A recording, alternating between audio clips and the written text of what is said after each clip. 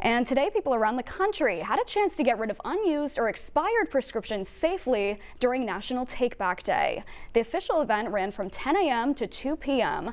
Last year, there were more than 4,500 collection sites nationwide. Maine collected about 40,000 pounds of drugs total last year, and sites around the country collected almost a million pounds. The South Portland Police Department took part in today's event.